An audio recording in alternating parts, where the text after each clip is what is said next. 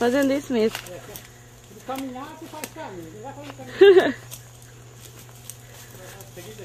Mas eu imaginei que já vai, não vai vir hoje não. A gente atrasou um pouquinho. Vou pôr, eu vou botar a banda, não vai.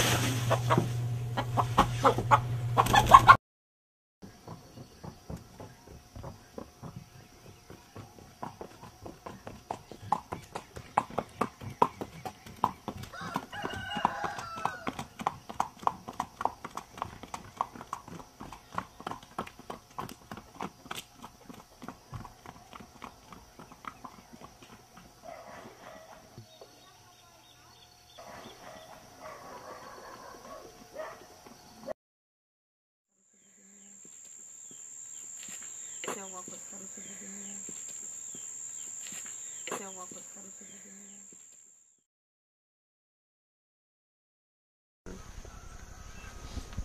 Bom, não, não- se for para contar tudo, você tem que começar desde antes, né? Mas a gente. Eu sou nascido aqui, nessa comunidade, mas me. Como me com um ano de idade, meus pais mudaram lá para o município de Jiquiri. E até a média minha idade de 10 anos, a gente ficou lá trabalhando com, com parceria, né? Com, depois a gente voltou para aqui. Um que meu pai tinha. Então chega, na- mas aí. É, na minha- aqui tem uma história, então, toda, dentro, toda a região, até do sindicalismo de, das comunidades eclesiais de base. Então a gente pegou participar de movimento de comunidade eclesiais de base, um um movimento que a igreja católica começou, né? Em termos de, de baseado na teologia da, da libertação. E a gente, é, enquanto irmão, sentimos essa necessidade de, se unir para comprar um pedaço de terra, porque, porque precisava da gente para trabalhar. E lá na, na, nos grupos de reflexão, nos cursos, a gente, a gente fazia essa reflexão, que isso era possível, a gente passar isso para outras pessoas que, que eram companheiros, que estavam aí na banda de parceria, na terra, na terra dos outros. Aquilo que deu certo para a gente, enquanto irmão, que era mais bibinho e fizinho. E então a gente poderia ah, passar para os outros. E a gente começou a discutir isso nos grupos de reflexão, nos, cursos, e foi levando essa ideia que isso era possível, porque a gente ficava imaginando é o seguinte, ficar só bem só, só rezando, ah, até o santo desconfia, não funciona não. Se não tiver uma ação, né, então a coisa tem que, ter uma ação. Então a teologia da libertação ela mostra que a pessoa tem que procurar fazer alguma ação que, que seja concreta. E ela sempre foi, nós conseguimos passar para as pessoas e começamos com três pessoas, o Cosmo, o Paulinho e o Vicente. Começamos uma, com, com eles e a gente começou que não queria que ninguém soubesse, né? na verdade programa de índio. Então para mim hoje é, é, dá vontade até de rir mesmo, porque quando veio diante de uma câmera filmando, porque gente não queria que ninguém soubesse. Isso é programa de índio, para ninguém saber, não, escondido. Mas a gente fez aquela proposta de que a gente que já tinha o pedaço de terra, emprestou para os companheiros aquele, que- a, a, o impresso solidário, que ele, exemplo, tantas arrobas de café, tantas arrobas de, de, de boi, mas é aquilo que tinha, cada um emprestava, mas não tinha essa questão de, de, de juros, não, e, nem- e nem nota de promissora. né? Não tinha ninguém, ninguém assinava documento nenhum, né? emprestava as arrobas, os pessoal pagava as arrobas. De, e aquela coisa co- funciona. Enquanto mais a gente escondeu, aí aí que mais divulgou. Então não tem. Não, então gente começou com três, eh, ra- rapidamente foi para quatro, que é com, com o Murilo com, acompanhou. Logo em seguida o Murilo acompanhou. E assim foi. Então hoje o ideal é liberar 200 pessoas já com, que não tinha terra, que hoje tem esse pedaço de terra a partir de, de, de 1989 para cá. Então gente já fundou o Sindicato Trabalhador aqui, pensando em, em- em- em trabalhar a conquista de terra conjunto.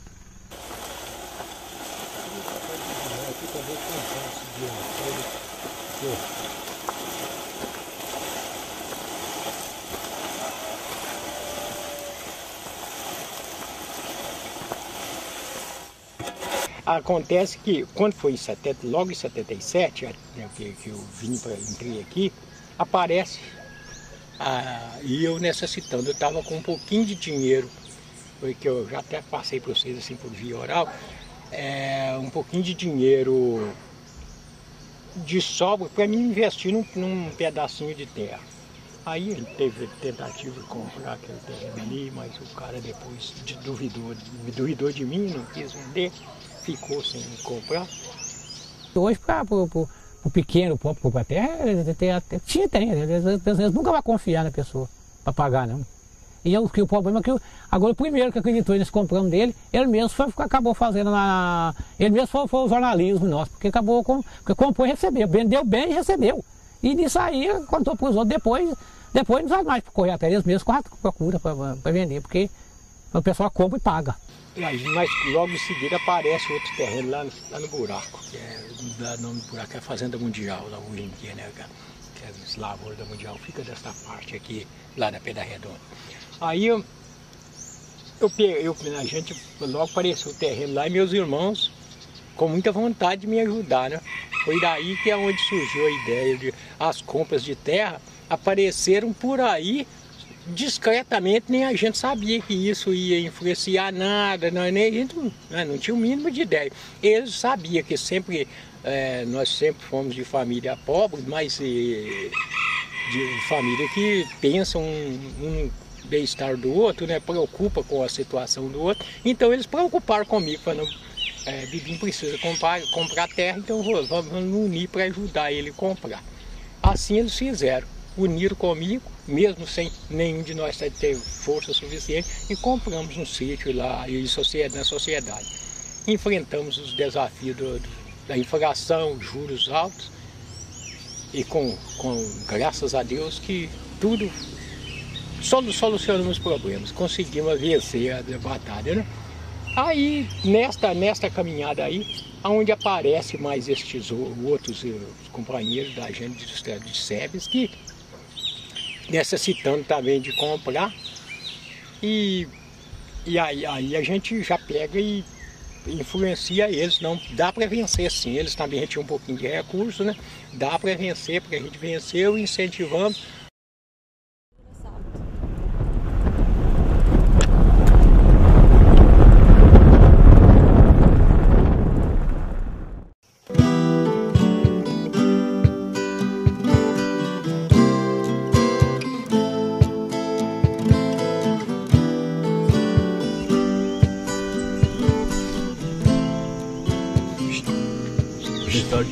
terra começou através de, dos movimentos, de, a gente participava do movimento de SEBS, né?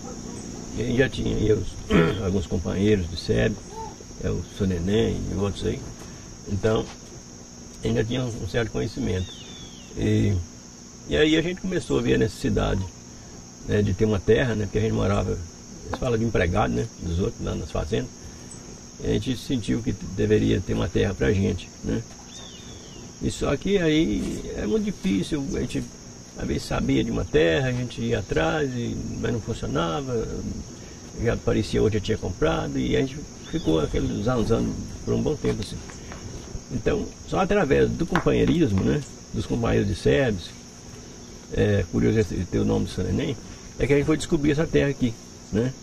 A gente tinha algumas comunicações e eles é, a gente passou a ter o conhecimento desse terreno aqui, a gente correu atrás e conseguiu. E eu, estou fora.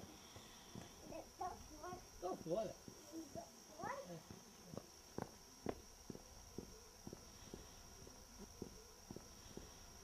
Já tinha assim um, um, uma conquista de terra, é, mas de uma família aqui, inclusive o seu neném, com os irmãos dele, já tinha feito uma experiência desse tipo, né? Entre eles. E depois é que a gente, é, através daquela experiência deles, a gente começou trocando ideias e viu que aquilo dava certo né, se agregar mais gente. Aí é que começou. Essa terra aqui é que ficou sendo a primeira conquista, né? Assim, de companhia, de grupos mesmo, né? De pessoas para pessoas, foi essa que é a primeira. É, então a gente descobriu essa terra aqui no dia 10 de maio. 10 de maio de quando? em 89.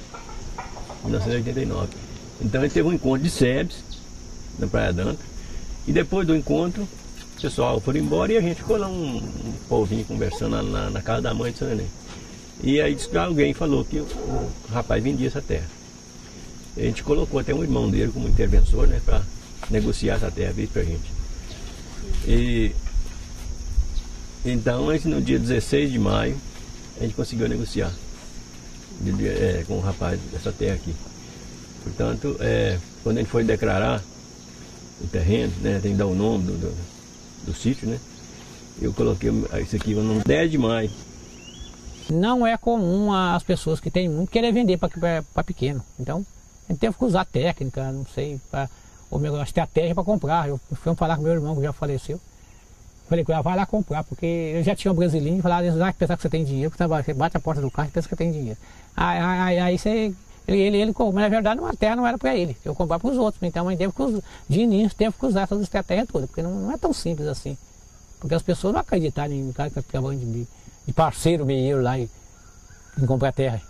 Então é, é, então não vendiam. Então acabou a gente tendo que usar essa estratégia e funcionou, já falei antes aí que funcionou. A primeira deu certo, acabou, ninguém segura mais. Desde que deu certo para um, ninguém mais segurou. Então, até hoje. Ah, mas falta isso, falta aquilo. A gente pegou um pouquinho que a gente tinha, minha mãe ainda era viva, aliás, a nossa mãe, também tinha um recursozinho que podia ajudar, emprestou para eles uma junta de boi para vender, e, foi, e cada um emprestava o que podia, um punhado de café de um, sei lá, e fomos vendendo. E nessa história até a bicicleta foi vendida para comprar, para pagar a terra, né? e louvado seja Deus, né?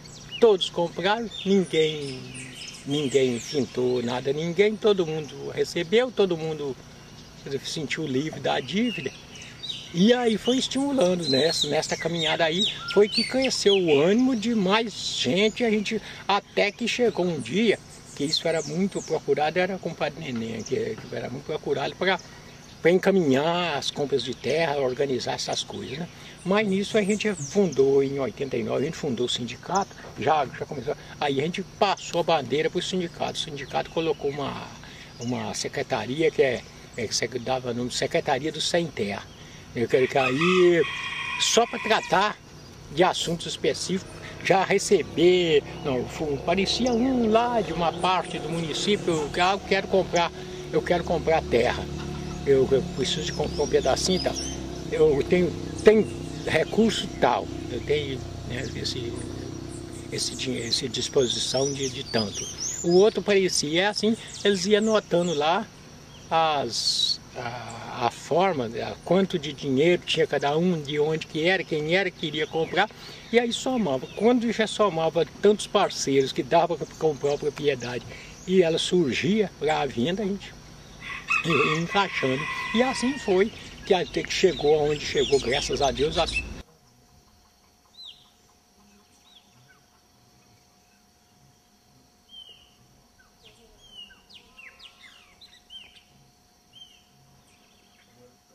nem, nem tenho dados de quantas compras foram feitas, porque hoje é, são né, uma média de umas 200, umas 200 famílias, mais ou menos, sei, me parece que umas 200 famílias, que eu não tenho dados concretos, e que são beneficiadas, graças a Deus, a, a partir desta organização de, dos meus irmãos, o, in, o início foi meus irmãos pensando em mim, né? então em 77 foi uma etapa, quando foi em 99, foi na segunda etapa, que as compras dos... 89. Em 89, aí, aí já, já surgiu aquelas pessoas que desejavam comprar, aí começaram, me parece foi, aliás, tem, posso ter vacilado aí, me parece foi 89 a compra dos companheiros, me parece foi, me parece, não vou, não vou afirmar, é porque...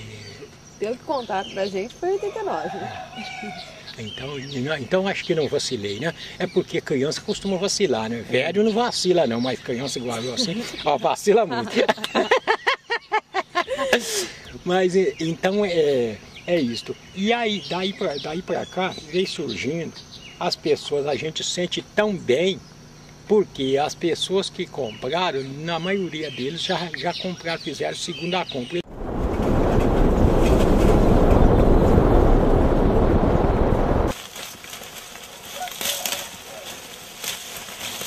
Agora começou a época de colher o café Isso. e vai até quando? Pra nós aqui, realmente, quando acabar até final de julho, de junho, São Joaquim, né? Agora pra fora aí, não vai meio- até mês de agosto, setembro, algum lugar. Porque a região aqui é bem grandinha. É?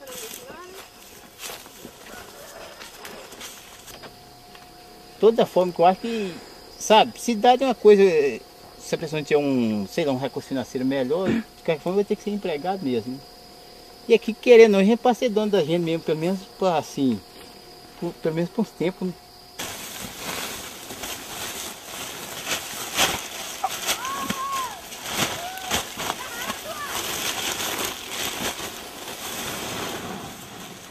Seus pais têm terra aqui? Tem. Tem. Essa aqui é a terra dos seus pais? Não? Onde fica a Lá em cima, Lá pra cima? E aqui você tá ajudando quem? bastante. O Bastião? Ele é o que seu? Nada. Nada? Amigo só? É. Todo mundo se ajuda aqui. É.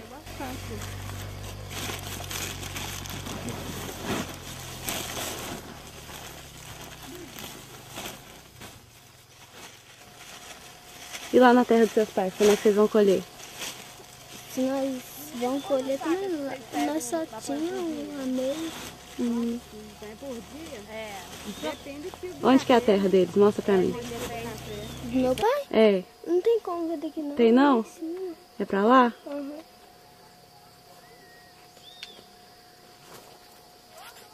Isso começou com os irmãos, que é Bibim, Nené e Fizinho. Eles até falou a data, eu não me lembro mais. Eles compraram em conjunto. E aí depois, decorrer de anos, aí não pa- pararam, não mexeram com terra em conjunto mais. né?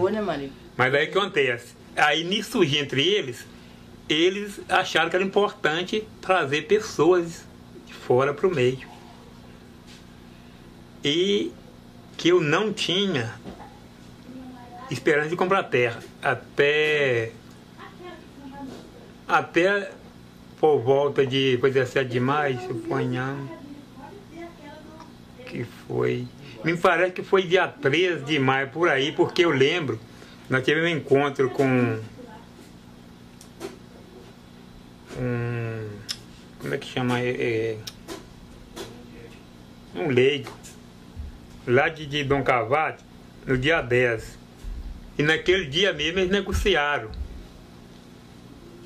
Como é que é? Naquele dia eles sentaram e conversaram, que o Corno estava com problema lá de precisar de mudar da fazenda onde morava. Conversaram lá, e me parece que no, no dia 11 mesmo eles foram lá encontrar com, com o moço que era dono dessa propriedade lá em Viçosa. E eu fui embora.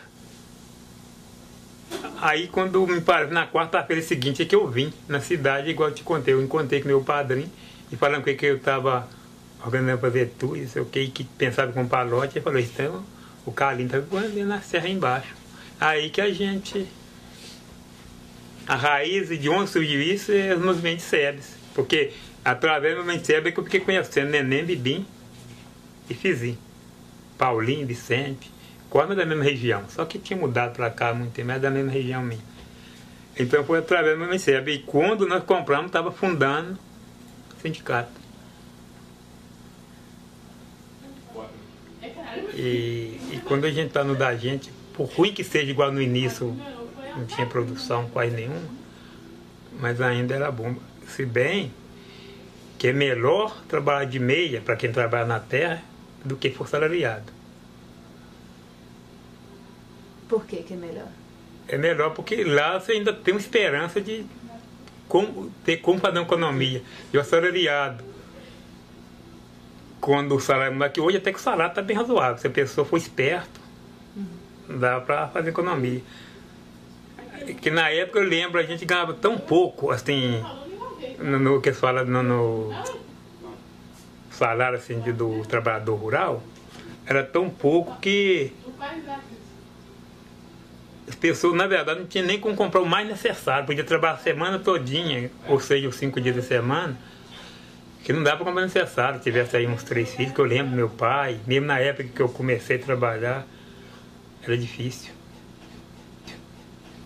era muito baixo. Mas o salariado que fala assim, a gente trabalha uns cinco dias na semana e recebe aqueles cinco dias, né? Não é igual um salariado É. que conta sábado e domingo, não. Porque aí o salariado que conta sábado e domingo ganha mais do jeito, né? Que existe até hoje na região, é, é raro, mas existe alguém ainda que trabalha só lá buscando. É, às vezes trabalha até mesmo assim, hoje eu trabalho para você, amanhã para outro, amanhã para outro.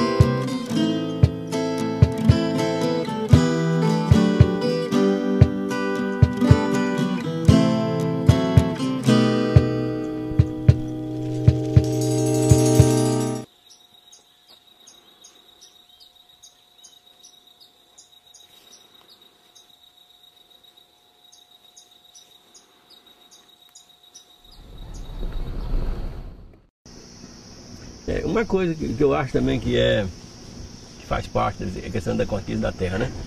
É que despertou a gente muito na conquista da terra. A gente já falou através de morar assim, de, de favor dos outros, das fazendas, né? Porque enquanto é, tem um tempo ali que a gente mora, vezes, de empregado das pessoas, morava assim, a gente se achava que estava bom, né? Mas chega o tempo também que a gente pega a sentir tanto humilhado, né? Das pessoas, que acho que até a humilhação dos patrão com a gente ajuda a gente, acabou ajudando a gente a despertar, né? Às vezes se não fosse às vezes até através de alguma humilhação, às vezes a gente atrasava mais a conseguir essa terra, né?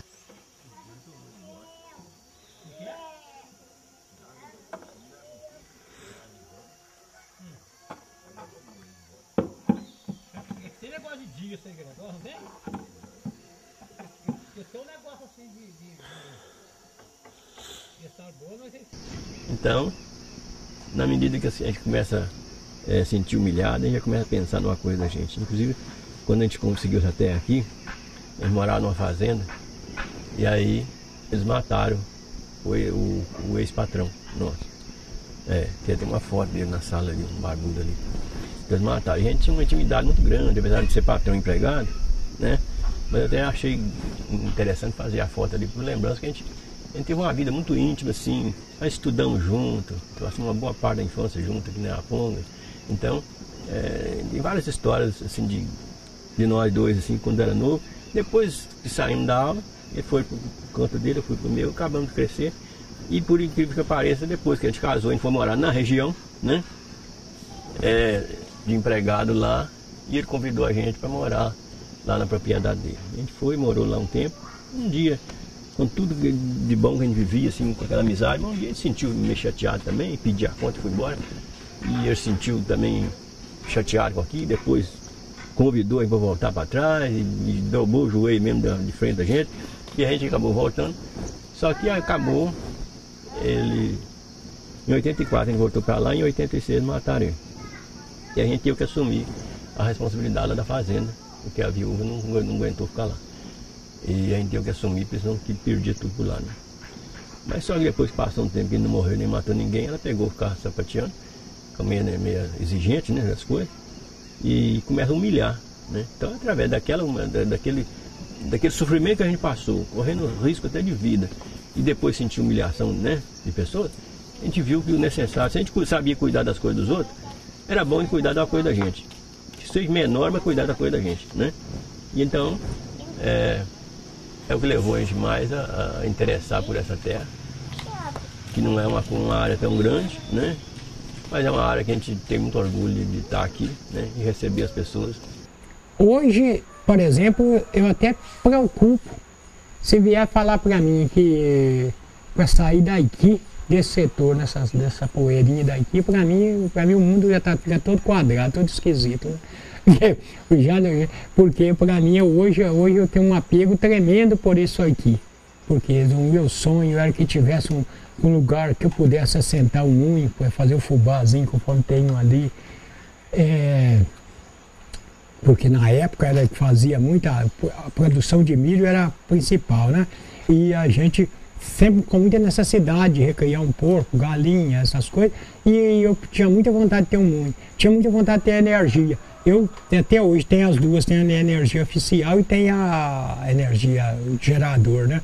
Tem as, tem as duas energias aqui, porque eu sou muito beneficiado porque eu tenho a luz a noite toda aí sem saber quanto pago, né? De, de, de quanto pago. Então, são coisas, eu, são as coisas que prendem a gente muito. É a gente tem.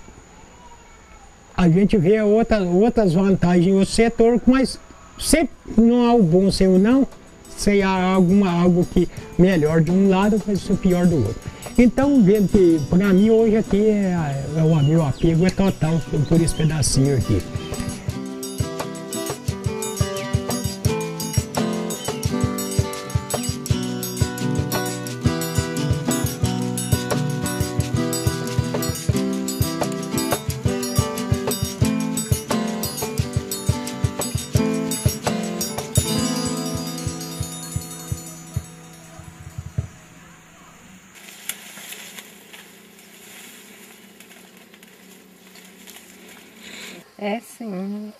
Partir de dessa ideia que já veio surgindo aí há alguns tempos, né? Primeiro quem começou foi meu pai em conjunto com dois irmãos deles, há não sei dizer assim quantos anos atrás. E aí inclusive foi uma ideia dele também, né? Aqui pra gente conseguir, ele deu maior força pra gente conseguir comprar em conjunto. Eu e mais cinco irmãos na época. Olha, a lembrança que eu tenho maior é daquela conquista de São Joaquim. Aquela conquista que foi, assim, um marco que deslanchou a ideia. Essa propriedade deles eu cheguei a conhecer assim por volta de uns sete anos de idade, mas eu não tinha noção do que era, porque era uma propriedade para cima, que hoje é fazenda ali do pessoal da Mundial e tal. Mas eu lembro dela, muito pequenininha, já lembro de ter ido com minha mãe levar comida assim, mas muito pequena. Mas a conquista de São Joaquim ali, do pessoal do Cosmo, Maurílio, que é um pessoal que tem, assim, cada um a sua história, de estar tá sendo meieiro, igual eu já te falei, que não é uma coisa, assim, que, que dá uma sustentação para o agricultor. Mas eu lembro deles vindo para São Joaquim, assim. É, a, é o que eu lembro da minha adolescência, assim, a conquista de São Joaquim. É o marco maior que eu tenho, assim, de lembrar. E aí foram acontecendo outras, a nossa, por exemplo, veio depois, já foi em 99.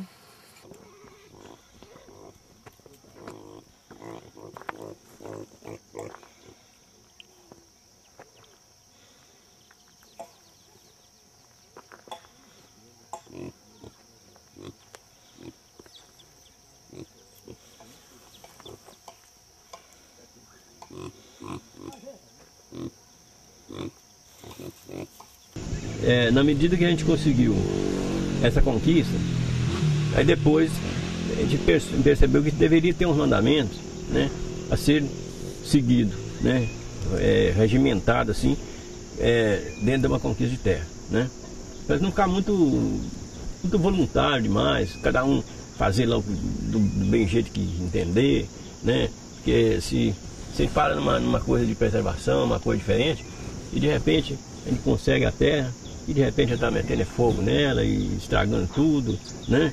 Então, esses mandamentos foi mais ou menos nesse sentido, para que houvesse um, uma certa compreensão, né, das pessoas, e uma certa compreensão e um conhecimento de não ficar abusando da terra, porque a, a terra, ela é viva, igual nós mesmo, né? Você percebe que ela é viva, e é uma mãe que nós temos, né? Então, de não abusar tanto, né, dela, respeitar o máximo, cuidar dela, preservar ela, Na medida que a coisa foi acontecendo, a gente sentiu a necessidade de, de escrever algum critério, que deu o nome de mandamento, né? Porque entre eles, já falei um aí antes, que é, é amor pela terra. Né? Acho que ter consciência ecológica também, porque a pessoa vê que ele tem a terra. Tem algum que tem nome de agricultor, mas não passa do minerador. Ele, ele chega na terra, é para sugar toda, toda, toda a terra e depois já deixa ela que nem para cemitério, serve mais. Né? Então, acaba com, com toda a terra. Então, um dos pontos que a gente, que a gente sempre discute, essa questão de, de, de, de, de ter é, é, o, o amor pela terra com a consciência ecológica. Também essa, acho que ter também respeito pelo, pelo vizinho também. Por exemplo, você não soltando animais que, que fica é, estragando a planta do, do vizinho para evitar conflitos. Quer dizer, assim vai, tem vários, são vários, são dez mandamentos que a gente colocou, ou critérios, né? Mas de cor é difícil falar todos aqui, para evitar de errar, é melhor não, não falar todos. Mas é, é, é, mas são, são, mas tem eles, né, escrito. E a gente, porque é, é, o que é a baliza, né? Que pelo menos quando se alguém sai fora, fala, não, tem um, tem um mandamento aqui. Mas o principal para nós é que a pessoa tenha realmente amor pela terra, queira trabalhar na terra. Esse, isso aí é, é prioridade. Esses dez mandamentos eu me lembro até na época, assim, eu não tinha nem conquistado ainda e ajudei a construir os dez mandamentos. É incrível, nem, nem lembrava assim. é, foi sim, a gente fez várias reuniões até chegar ao consenso dos dez mandamentos.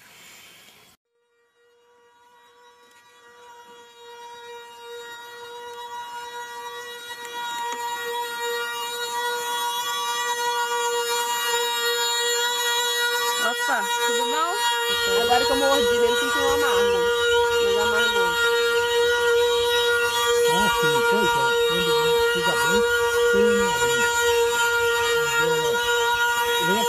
Essa, pelezinha, essa daqui, essa aqui tem um pouquinho de doce.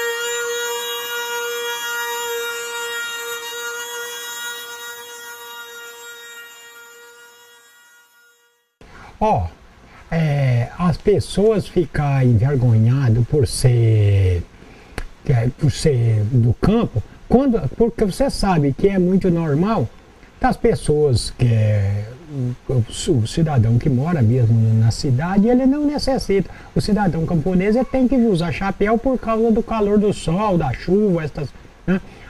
Na cidade, de um modo geral, você, você pega o sol um pouquinho, entra para dentro de casa, ou entra dentro de um carro, então você não necessita de chapéu. Ele é um camponês, mas ele se envergonha em apresentar o que ele é. Porque o povo do passado, o, o, cara do campo, sempre foi tido como uma pessoa atrasada demais, né? Muito.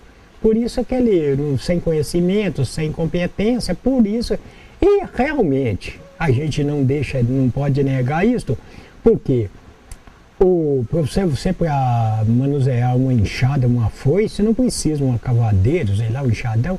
Não, não necessita de, de, de, de, de conhecimento, de autoconhecimento, não. É uma coisa que você vai aprende no mesmo dia.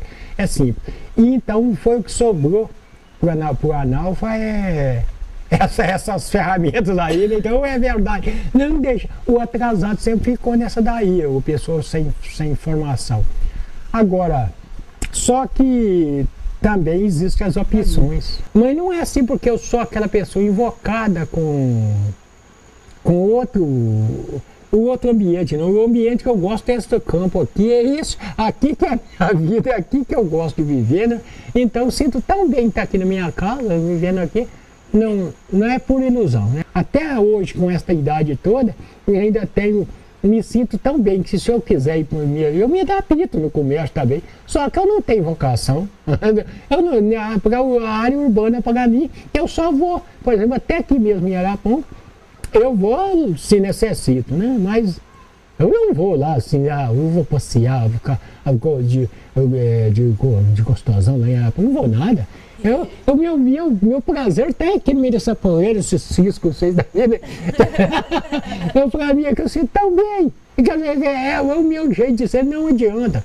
E tem camponês que, pelo amor de Deus, teve um, um, elemento, eles dizem isso aqui de Araponga, é, mas é, me parece que isso é verdade, que é, ele chegou. Onde foi? Foi uma cidade que perguntou, perguntaram para ele você, você é mineiro? Não, não, eu sou de Belo Horizonte. Não, mas. Ai, coitado, ficou tão querendo mentir para não, não, não declarar que era de um araponga a bem pobrezinha aí, né? Para falar que é de. de é, nem, nem soube falar. E a vida é só, só você sente bem quando você faz aquilo que gosta. Não sei fazer outra coisa. Nem aqui na roça mesmo dá para inventar um monte de coisa, de fazer um monte de coisa diferente, mas eu só gosto mesmo de plantar, colher, de cuidar mesmo das plantas, cuidar da terra. Para mim é tudo, porque assim, eu já experimentei Viçosa, fiz segundo grau lá, tentei, mas não me adaptei, aí voltei para cá. E aqui eu vou ficando. Ih, é tão forte. Eu acho que. A gente fala que terra é vida, mas terra é, é libertação, terra é. Ou melhor, terra é tudo. Eu acho que quando fala de terra, para mim, eu, eu, eu, costumo dizer que falar de terra mexe muito forte comigo. Não sei se é porque a gente tem essa característica indígena, porque não, que nossos antepassados viviam da terra aí, não, sem dinheiro, não existia negócio de dinheiro, não existia negócio de roupa, não existia transporte, não existia nada, a terra para eles da vida era a vida, a vida dos nossos antepassados. Não sei se é isso que me fala forte, não, mas que eu tenho a, a terra. É, então eu acho que, que sem terra, para mim é que nem um passarinho sem asa. Acho que não, não dá para viver sem, sem a terra. Eu acho que a terra eu já disse antes que para mim, ser no campo ou na cidade, tem que ter espaço. Acho que qualquer ser nessa, nesse mundo tem que ter o espaço dele. Nem, nem, nem só o ser que tratamos de, de humano, que eu não sei se somos. Eu acho que nós tratamos nós de bicho gente, eu não sei se somos humanos.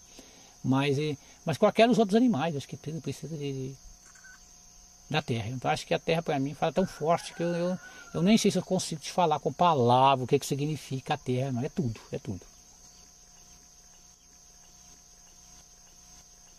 E na medida que ele consegue a terra da gente, a gente tem mais confiança, sabe que você vai plantar e que vai ficar, né? E se caso ele não gostou daquilo ali, a gente fala, a gente tem o direito de plantar e arrancar o dia que quer, né? Que é da gente. Mas então a confiança é muito maior, né? A liberdade da gente é, é 100%, né? A gente sente orgulhoso porque a gente viu que teve efeitos, né? Agora, a gente não, não não tem isso como. Acho que a gente tem mais como uma, uma missão, uma obrigação, nada de extraordinário, nada que seja para elevação da pessoa da gente. É só, isso não é um extraordinário, isso é apenas uma obrigação. A gente não fez mais, não precisa de ninguém sentir, se, sentir grato. É, a gente cumpriu a obrigação da gente, a gente fez da parte da gente, a gente sentiu que se as pessoas pensam, de que maneira pensam? Não, isso não me, não me interessa. Interessa que é que na minha, na minha consciência eu me sinto um pouco mais tranquilo, né? E enquanto viver, a gente está sempre disposto a, a encaminhar mais. Eu tenho orgulho mesmo de sentir parte dessa história, porque eu vejo a história da minha mãe como mulher, assim, o que foi para ela, sabe? Tinha um pai, né, que tinha esparso em terras. E a minha mãe foi, eu nasci numa fazenda de uma pessoa lá pro lado de Jiquiri, sabe? Então, assim, e eu consegui conquistar o meu pedacinho de terra, estava dentro de casa com a minha família, esse apoio. Então, assim, né, tanto do meu pai como da minha mãe, é fundamental, porque o meu pai sempre preocupa, preocupou com isso, né? Que não, não queria que nem filho dele passasse pelo sofrimento que ele passou, teve que encarar, se casar e se virar na terra de alguém, né? Sujeitando a cada história, cada coisa terrível. Trabalhava demais. Então, assim, isso eu acho que é um orgulho sim para qualquer, né? Só do pai, assim, o pai sofre, mas ele fala, eu não quero ver meus filhos sofrendo. E realmente ele lutou para que ninguém passasse por isso, sabe? Então foi uma coisa que você vê que já vai com quase 20 anos que aconteceu.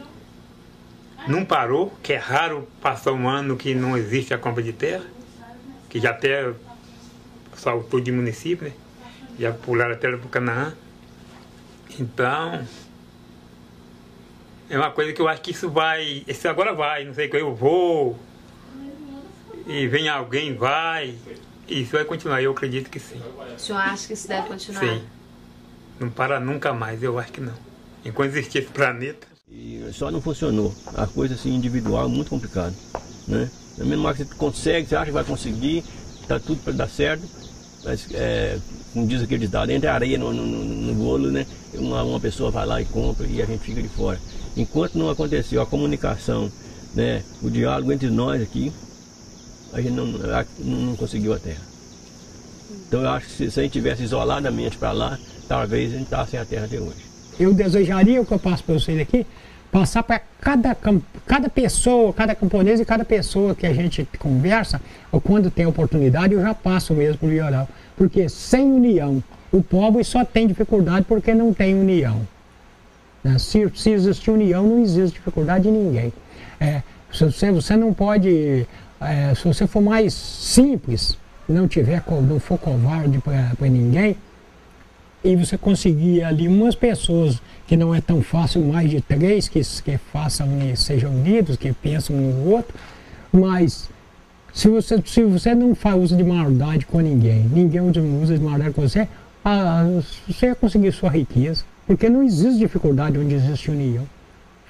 Ah, porque um, ele costuma comparar assim, quando se um tem em casa o feijão, o outro tem o milho, o outro tem o sal, o outro tem a gordura, pronto, ali quer dizer que já fez a comida e a, todos se beneficiam, um só, eu só tinha um produto, não dá para me, me alimentar o outro só tinha outro produto. Quer dizer, mas ali estão as quatro pessoas, cada um tem um produto. Então, dificuldades, você vê que. É, e todos ficariam em dificuldades. Você já pensou isso? Quer dizer, que às vezes foi um almoço ficar tão difícil porque eu só tenho esse produto. Mas se cada um tem um, tem um grupo e cada um tem um produto, Resolveu. Tá resolvido o problema, né? Olha. Eu não sei. Assim, para mim, a minha experiência, Isso. a minha experiência é muito engraçada. é que quando eu era pequena, minha avó tinha muitas rosas. E a minha avó morava ali, ó, perto do curral, na carroça de milho embaixo. A minha irmã que mora lá hoje, sabe? E na casa da minha mãe não saía rosas, acho que por causa da terra e tal. Aí minha avó sempre me ensinava, me leva rosa. Não dava certo. Aí eu falava assim, ah, um dia eu quero morar num lugar onde eu posso plantar rosas igual a minha avó. Isso para mim, assim, acredita que quando eu fiz a minha casa, assim, antes de colocar a telha ainda, eu coloquei, plantei rosas e até hoje está lá. Eu adoro minhas rosas. Hoje está bem estragada, assim, mas eu não sei, parece que já estava designado. E é um lugar que eu gosto muito. Eu costumo falar com o pessoal que até morrer já posso. Não que eu vou me suicidar, não, mas, mas até morrer já posso, porque, porque tenho certeza que a meninada que está aí vai dar continuidade. Já está dando continuidade, já não depende muito de mim, mas eles já conseguem fazer é, é, sem eu. Então acho que. É um prazer. E fui imenso. Acho que para mim, acho que essa felicidade para mim acho que não, não existe. E, como moeda não tem valor que paga. Né? Eu acho que a gente só tem que entender, acho que a história, para mim era muito mais. Para mim, acho que, eu, acho que eu costumo falar hoje que em vez da gente é, é, ver alguém contar história, é melhor que nós temos uma história para contar. Acho que isso para a gente é muito é muito forte. E, e quando eu falo da juventude, eu falo com muito orgulho, porque eu falo que, que jovem é motor da sociedade. Eu falo que velho é retrovisor. Se, não vai dirigir sem retrovisor não, porque você vai, vai, vai se dar mal, vai quebrar a cara. Mas, mas se não tiver juventude, não tem força. Não vai. Eu sou muito otimista, sou esperançoso. Eu, eu, eu sonho com a transformação, sabe? Acho que da, da, da sociedade. E, e a partir da, da terra. Voltei ao passado para recordar. A forte lembrança refletiu no peito. Não tive outro jeito, me pus a chorar. Eu vi o Monjole, a casa de taipa, o fogão de lenha no mesmo lugar. A junta de boi que puxava o carro, ouvi a cantiga de um João de Barro, que fez sua casa no Jequitibá.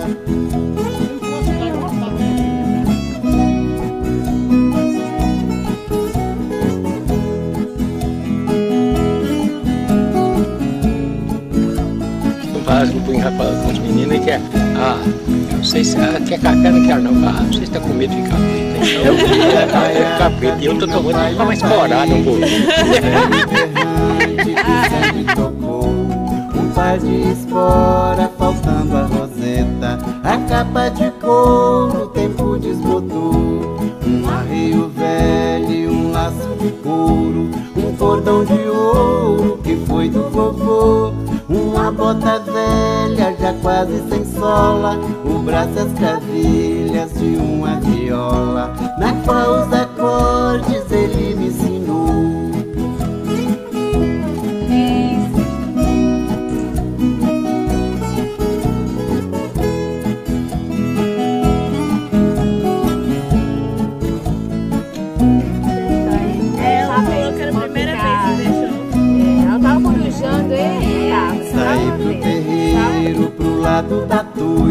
Embaixo da embuia estava o pilão. Nosso velho carro de boi encostado Com eixo quebrado, faltando cocão. Vi as quatro cangas, dezesseis canzis Que eu mesmo fiz com enxó e formão. Das tralhas do encostada Eu não percebi que faltava guiada Pois estava cravada no meu coração